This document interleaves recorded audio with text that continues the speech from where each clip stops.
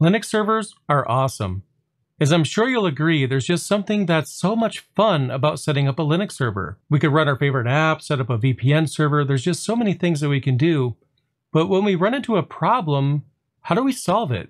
Where do we actually look for some kind of information about what's going on so we can make some sort of decision? Well, in today's video, we're going to look at system logs, the basics of system logs. We want to understand where the information is stored when it comes to logs, what some of the log files are actually for, and why we might want to look at them.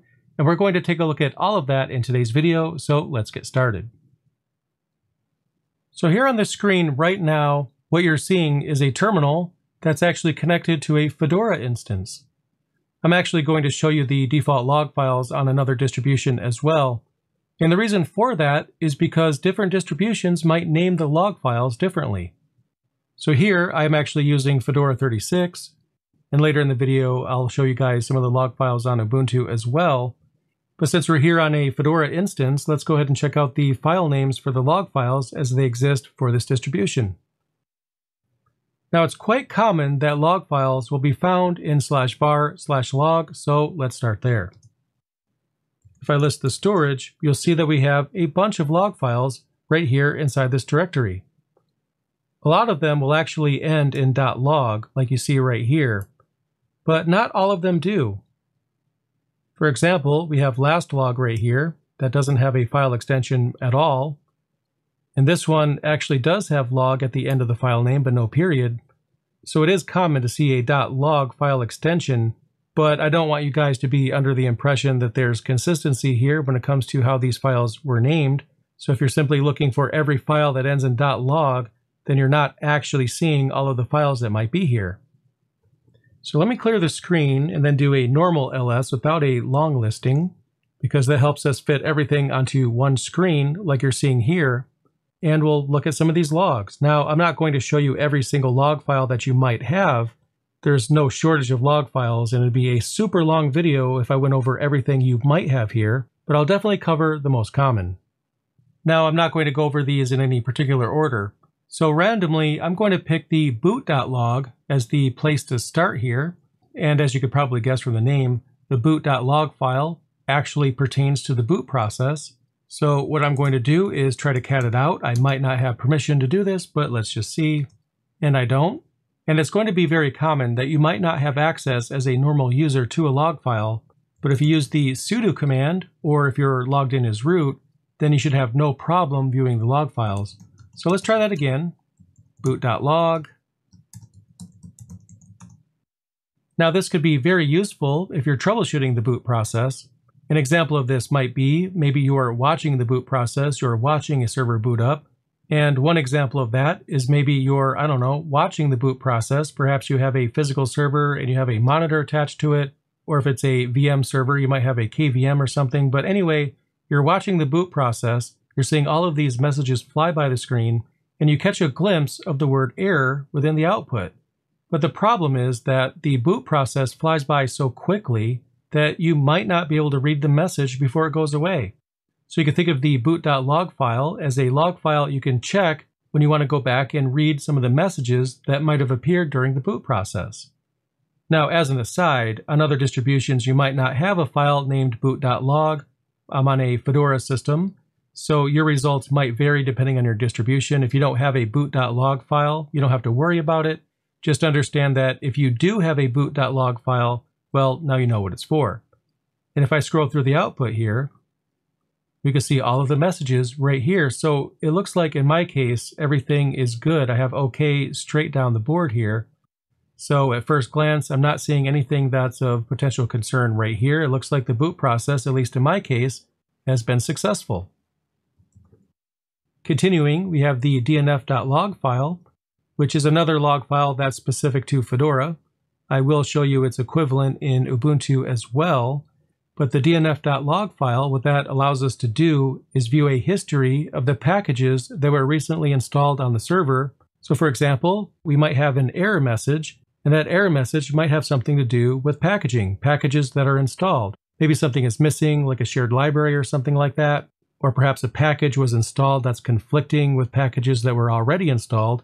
So what we can do is take a look at this log file and then see which packages were recently installed. And for this log file, I shouldn't need sudo to view it, so let's just use cat and then dnf.log, and there it is. So we can see that the RPM Fusion repository here on Fedora was downloading some information, so that's fine. And there's a lot of information here, as you can see. So not just package installations or removals, there's other pieces of info here as well. But there's no shortage of information. Now, most of this right here is just the repositories being refreshed and things like that. But right here, we can actually see where I downloaded the GNOME console application. I actually installed this about six or seven days ago or so. But as you can see right here, I've downloaded a package and the log file contains an entry right here where I went to install that package. So again, if that's something that you want to find out, you want to find out what's been installed recently, then checking out the dnf.log file, at least on systems that use the DNF package manager, that's going to be a great way to find out. Now another log file that I would like to point you guys to is the wtemp log file. So let's go ahead and check out the contents of that file. And it's just wtmp in the varlog directory. And this is strange, we're not able to read it. There's all these funny characters here. And yeah, there's some legible information, but at least for me, I can't understand what exactly is going on here because I see, well, a bunch of weird characters. What's going on? Well, actually, the WTMP log file is known as a binary log, and we could gather that it's not a simple text file on account of the fact that we didn't get simple text when we went to inspect the contents of the file. But to view a binary log, if you see a situation like this where you can't read it, then that generally means that there's some other command that you have to use to view that log file properly. And in our case, it's actually the last command that's going to be the command that we will use to view the contents of that file. So I'll enter last, just like that, and press enter. And now we can actually read the information. So up here we have the binary version, but then when I use the last command, like I've used right here, we actually see some contents.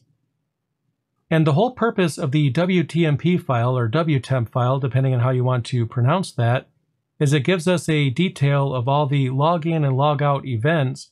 So if we wanted to, I don't know, audit the users that are logging into our server, then the WTemp log file will be the one that we want to inspect, and we'll use the last command in order to do that.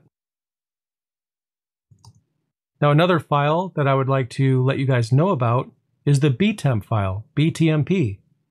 And of course, we could try to cat out the contents of that file. I wouldn't recommend it, but we can certainly do it anyway. And of course, permission is denied because that particular log file needs root access, and I forgot about that. So I'll just type sudo cat and then btemp.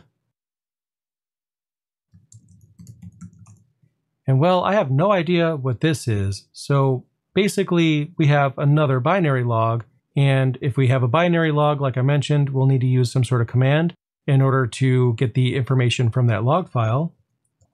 And to do that, what we'll type is, again, sudo, because in this case we will need that.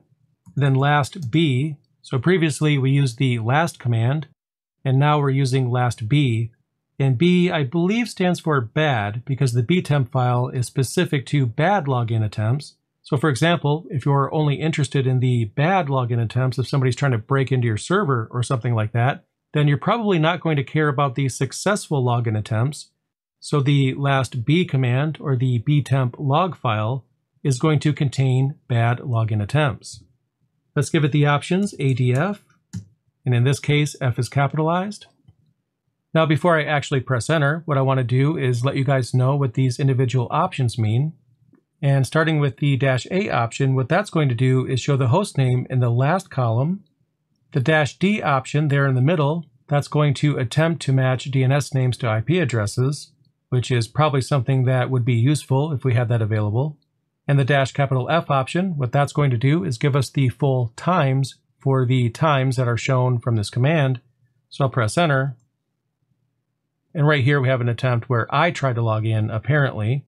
But this particular instance is not publicly available, so we shouldn't really see anything here, at least not all that much.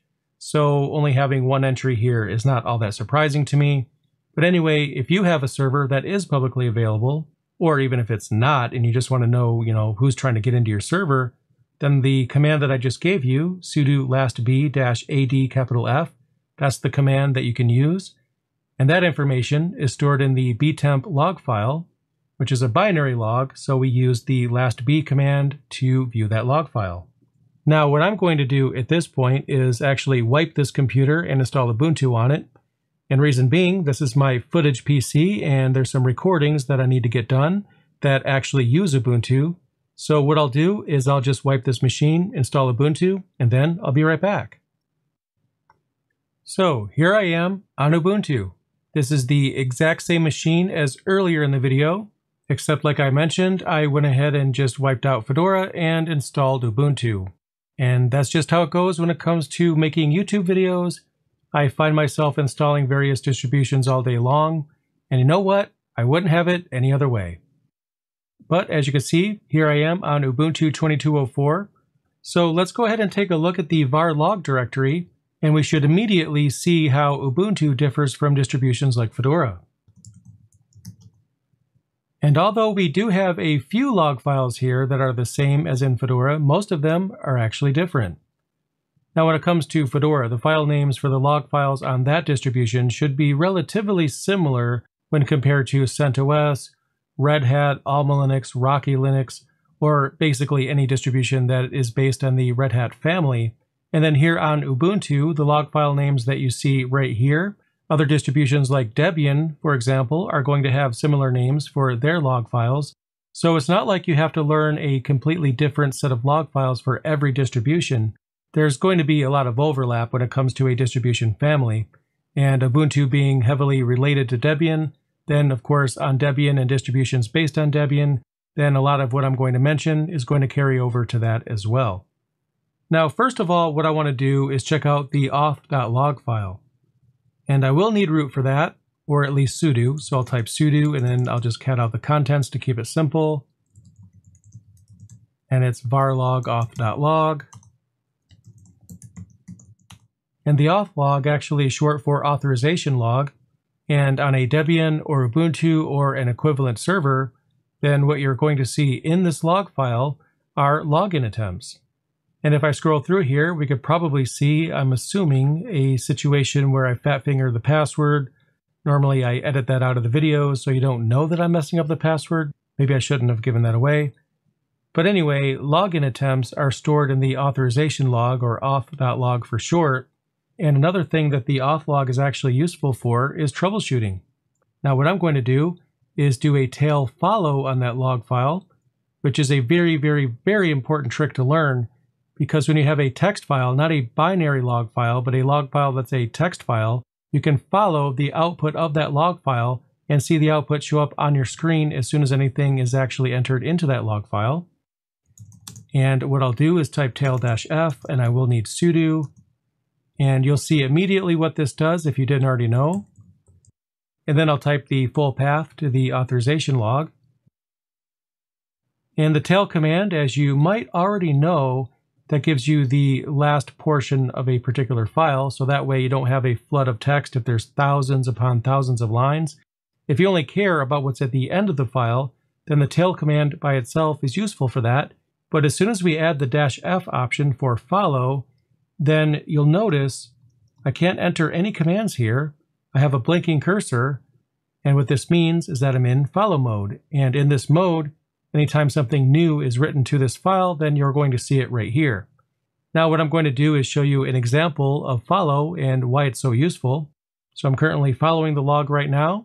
And on another computer, what I'm going to do is attempt to SSH into this particular computer. So I'll do that right now.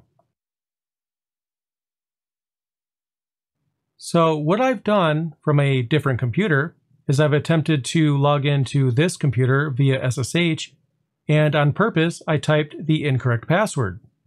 So, for example, if you had a user and you are managing a Linux server, and that user comes to you and lets you know that they can't actually connect to the server via SSH, then a very common troubleshooting technique in that situation is to have your user try again while you're in the process of following the log file, the auth log, and you can see the actual errors or the reason why they're not able to log in. In this case, it's a simple password failure, which is not all that exciting or even all that uncommon, but I wanted to show you guys an example of why you might want to follow the log file. And as you can see right here, I was able to follow the authorization log and see in almost real time what exactly is happening on the server. If I saw a bunch of attempts here, and this particular instance was publicly available, then that might be a cause for alarm. That might mean that somebody's trying to get into my server. But it's not some outside attacker this time around, it's just me with my fat fingers and my inability to type a password. But anyway, back to the topic at hand, which of course is logging. What we've just done is we've taken a look at the authorization log, and that was in the var log directory. And these are the log files that exist, at least on Ubuntu and Debian systems. And the authorization log is a very important log file. So if you're on a Debian or Ubuntu system, then it's really important to understand and keep in mind that that particular log file is the one that you should check if you have, I don't know, some sort of authorization related thing that you're troubleshooting, because you might find your information within that log file. Now, there's another log file that's very important to keep in mind, and that is the system log. And we call it syslog for short.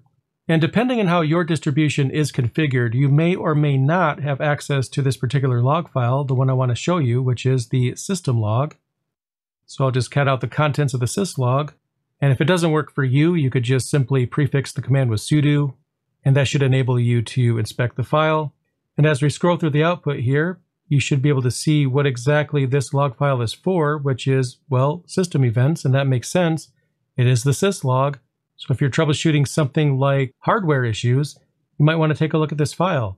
And sometimes, if you're troubleshooting something like USB, maybe a flash drive, and I don't know, maybe it's not detected, then you can actually tail this log file while you insert or remove that particular device.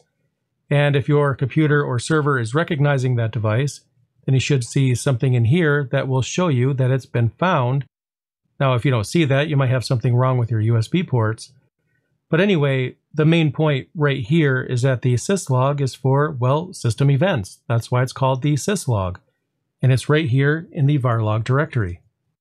Now in the previous section, what I did was I showed you the DNF log, and that log file is going to be very common for systems that have the DNF package manager, distributions like Fedora, for example.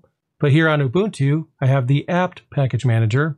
So I'm not going to have a DNF log file because there's no DNF, but what I do have is an apt directory.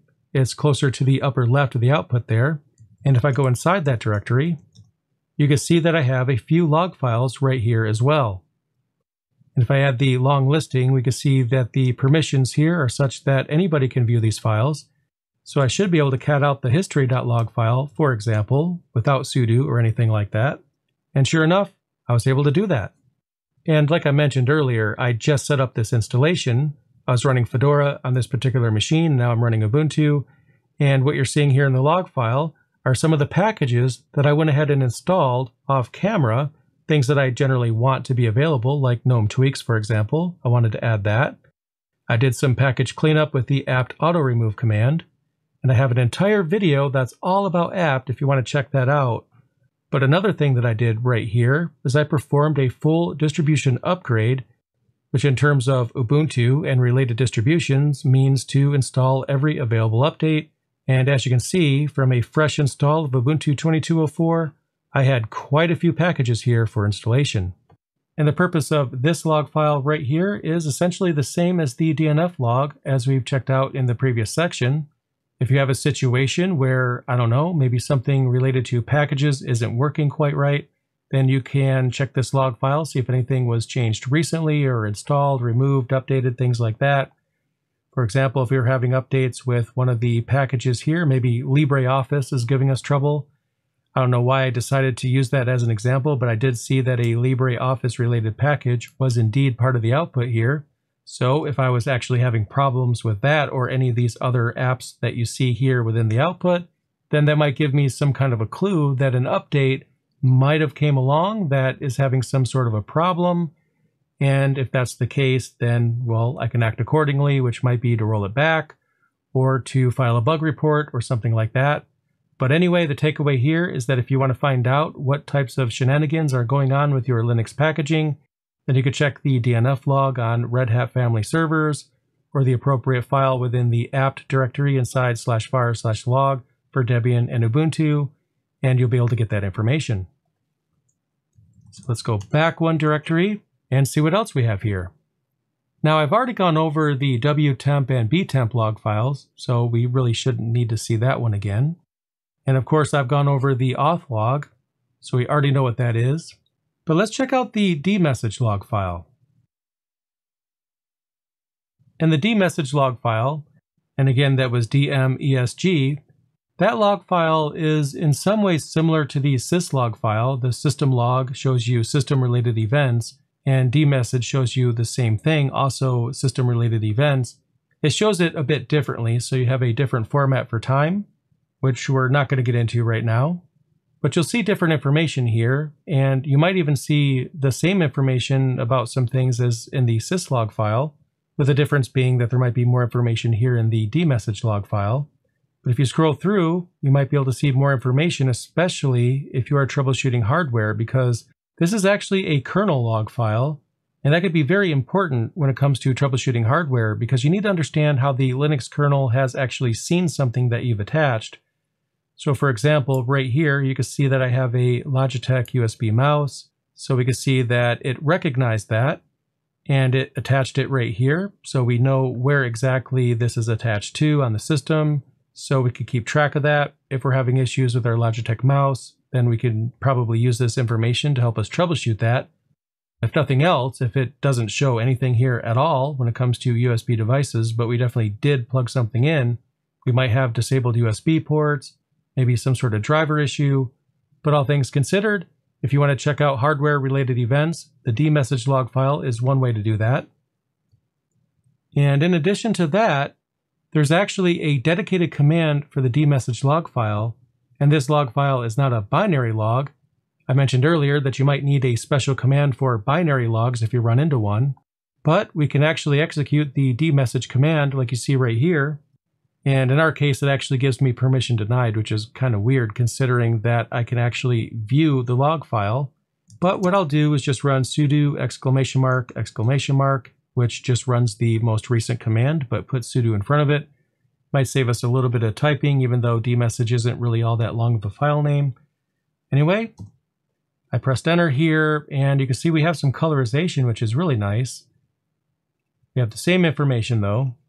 So for troubleshooting any hardware, then the dmesg log file would be a fantastic way of doing that. So I'm going to go back to the home directory here. There's another example of logging that I want to make sure that I go over, and that's the journalctl command.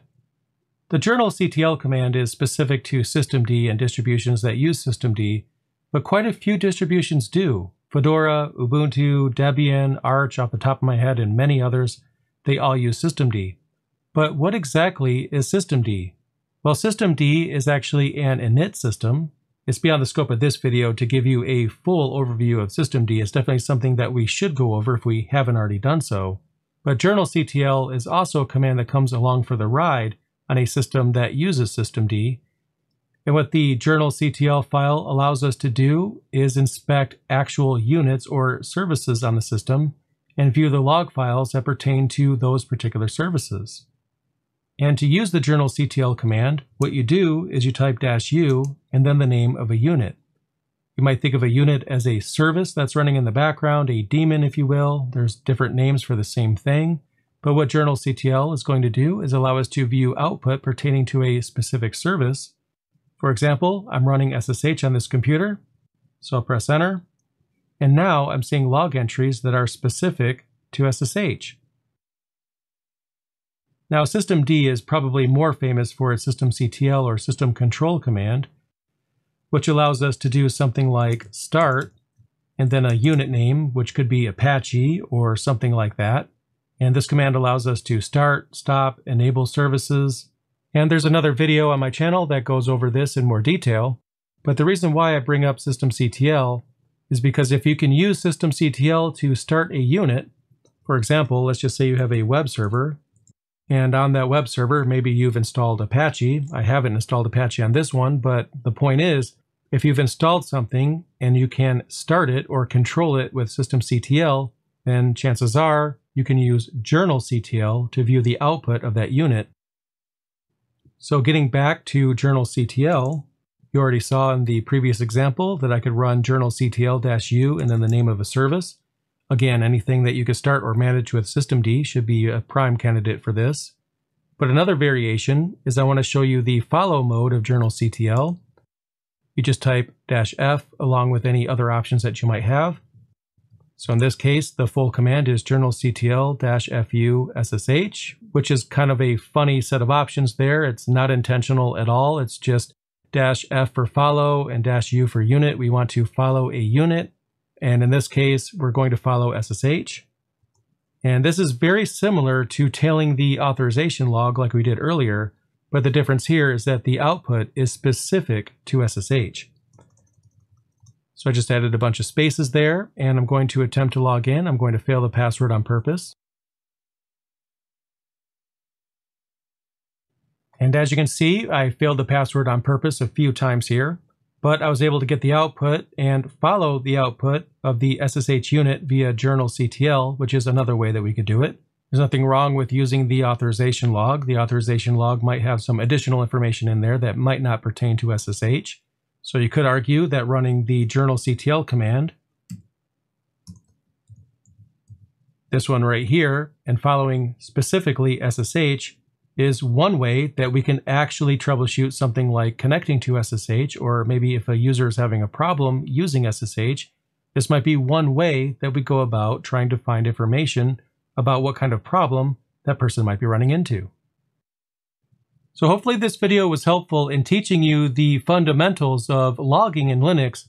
If nothing else, if you actually run into a problem, you'll know one of the places where you can look for possible answers or at least to get some sort of context around the problem that you might be experiencing. And in this video, I showed you some of the log files on a Fedora system as well as an Ubuntu system, so hopefully it's helped you out.